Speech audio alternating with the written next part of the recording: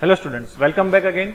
Myself Adil Hussain Shaikh, Assistant Professor Automobile Department and welcome to the lecture series of Automotive and Combustion Engine Technology. As we had discussion in last lectures of overview of gasoline of direct injection systems as well as we have uh, discussion regarding stages of SI and CI engines as well as uh, we had discussion regarding spray guided technology then engine downsizing and exhaust emission after treatment device. Now we are looking for a SCR, selective catalyst reduction. But before that, we are going for stages of combustion in SI engines as well as CI engines and we are also learn attention required in spray guided systems and which are the basic requirements of spray guided systems as we had already learned in previous lectures.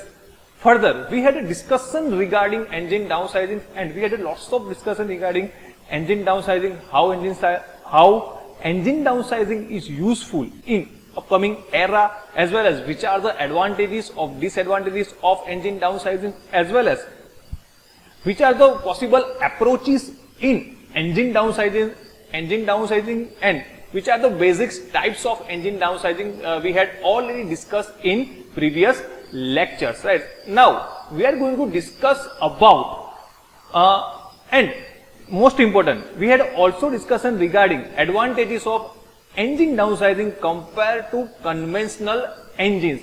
How conventional engines nowadays are uh, very rare reliable compared to engine downsize engines, right? So let us discuss further regarding selective catalyst reduction. We had already discussion regarding selective catalyst reduction in previous lectures because how catalyst reduction used to reduce nitrogen oxides from upcoming exhaust from the engine sides as well as how selective reacts with NS3 and how can we convert exhaust into nitrogen as well as H2O, right. So, today we are going to dis discuss regarding uh, which are the basic optimum temperatures, right, Be because uh, selective catalyst reduction operating on 300 to 400, uh, 400 uh, degree Celsius and Basically, higher NOx reduction is achieved with the use of higher amount of catalyst. Basically, there are two layers of catalyst.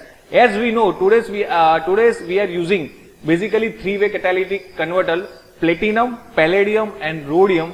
Uh, mostly preferable catalyst using in three-way catalytic converters, and we are going to convert our exhaust in N2 as well as H2O with the help of selective catalyst reduction. And basically the range of the SCR is 300 to 450 degrees Celsius and we also get higher NOx conversion with the help of CNG catalyst, with the help of SCR catalyst converter, right.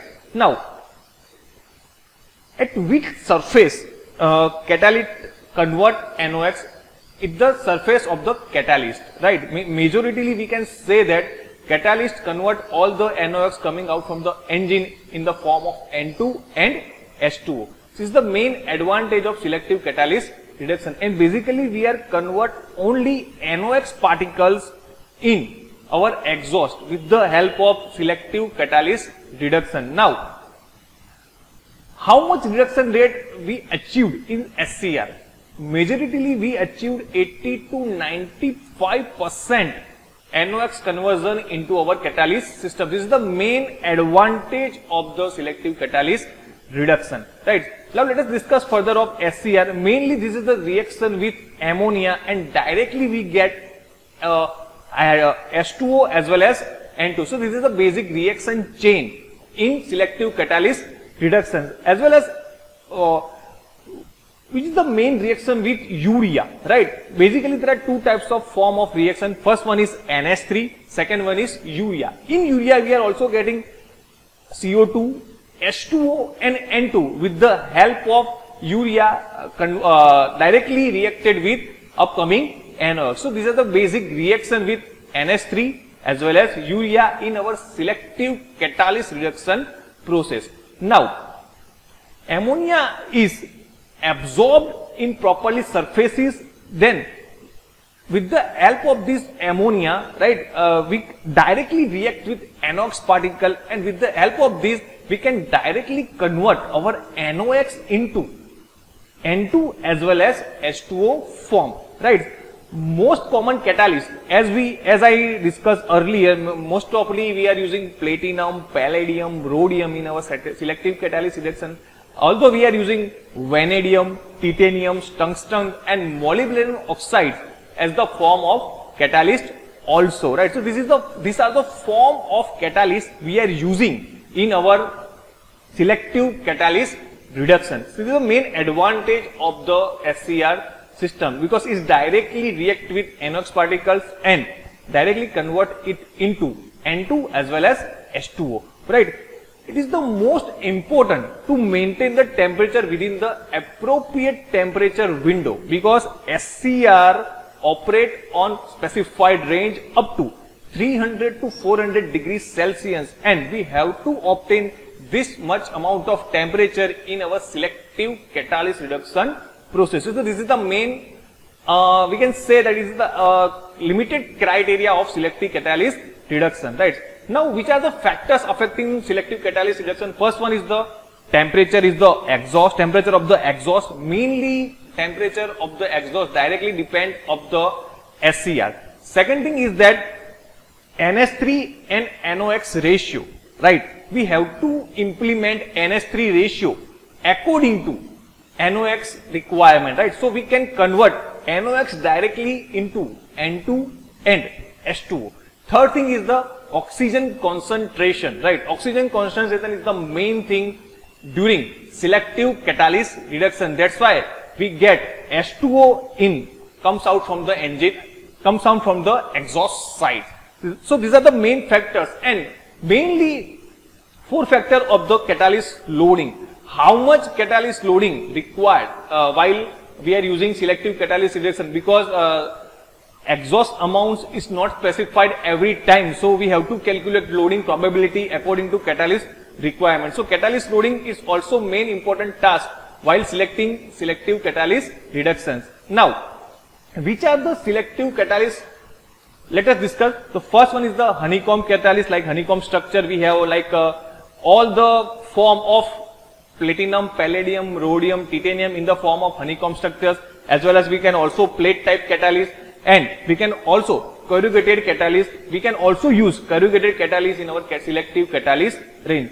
So, which are the basic principle of catalyst to convert NOx into H2O particles into H2O as well as N2 particles. Now, let us discuss lean NOx trap.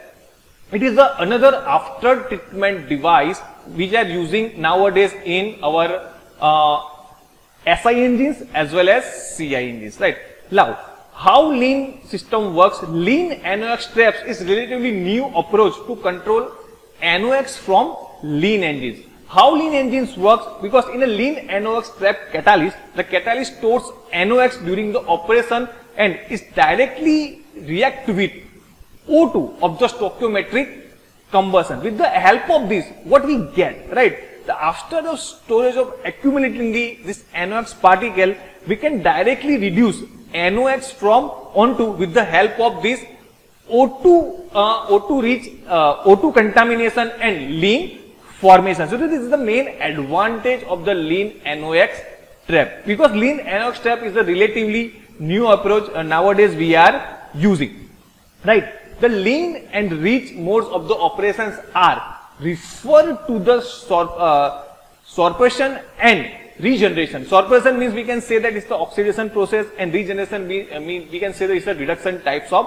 process. In diagram you can see that uh, NOx particles directly react with O2 and there is a one spe uh, specific catalyst we are using Al2 Al2O3 form right. So this is directly convert NOx particles into N2 as well as H2O form. So we can directly benefit NS3, uh, sorry, we can directly benefit NOx into uh, N2 as well as H2O.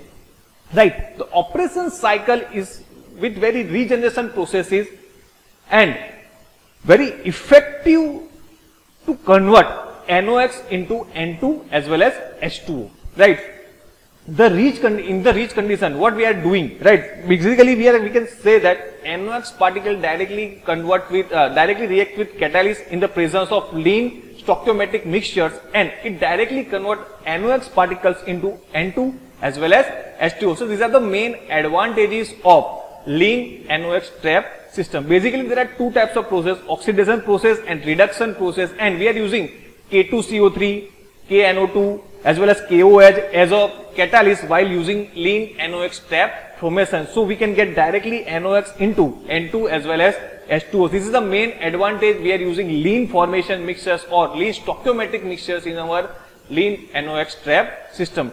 NOx directly trapped in this particular systems and we get direct the form of N2, right?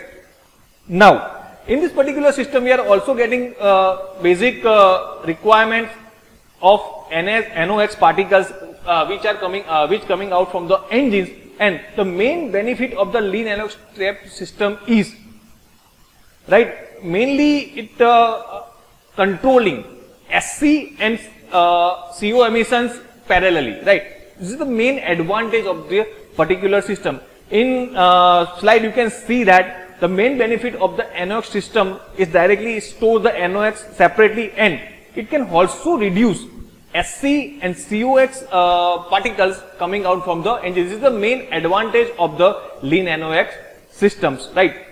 And basically there are two primary disadvantages. First one is, see every system has its own disadvantages, right? So first one is the initially cost of and second thing is the sensitivity of the sulfur, right? So how can we say that is it a, a disadvantage from the exhaust system because it cannot uh, directly affect to the sulfur particles, right? So this is the main disadvantage. First one is the primary cost of the system and second thing is the sulfur contamination coming out from the exhaust side. So this is the main disadvantage of the lean NOx system, but uh, otherwise it is the uh, most usefully in SI engines as well as CI engines, right. So, and uh, we can also include catalyst cost, right, in this particular system because every time uh, catalyst is the main uh, things which are uh, which convert directly NS, uh, NOx particles into N2, H2O and uh, non non emitting device, non emitting gases, right. So, we can also consider catalyst cost in this particular lean NOx trap system, right?